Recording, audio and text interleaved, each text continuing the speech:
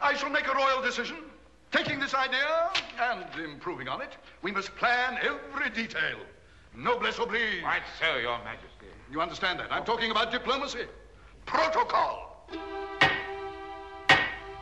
Yes, we must be protocoligorically correct. Good form must never suffer from neglect. The rules and regulations we respect must be treated circumspect, else the kingdom will be wrecked. We've a system to protect, checked and double checked and protocoligorically correct.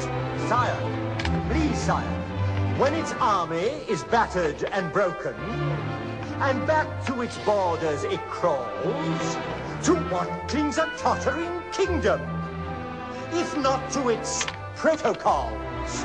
And when the treasure is tapped of its treasures, are the tapestries stripped from the walls?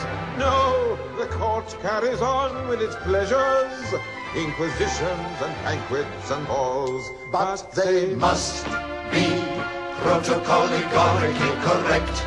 Good form must never suffer from neglect.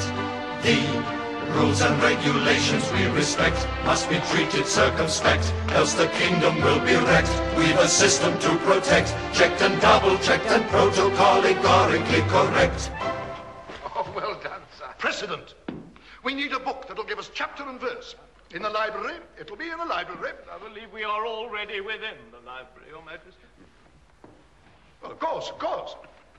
I knew that. What volume do you suggest? There is only one, Your Majesty, the Bible.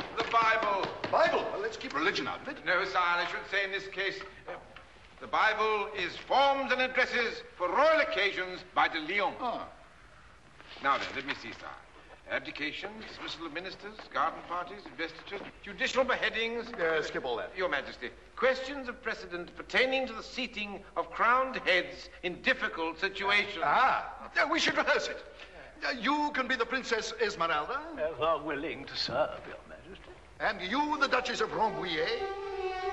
And you, the daughter of the Emperor of Bratislava. And, uh, well, the rest of you can sort it out amongst yourselves. What an inspired idea, Your Majesty.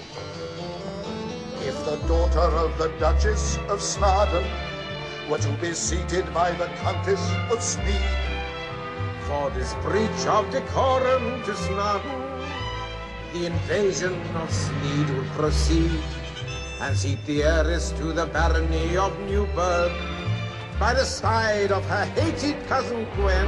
Oh, how quickly the armies of Newburgh would deploy to destroy us again.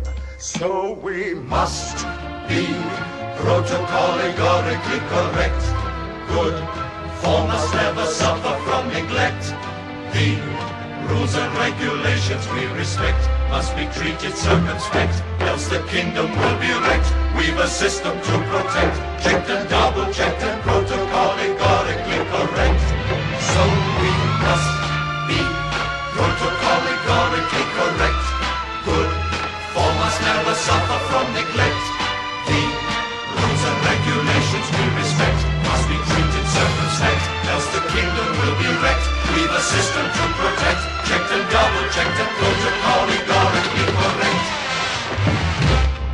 Protocol. Protocol. Above all. Above all. Makes a kingdom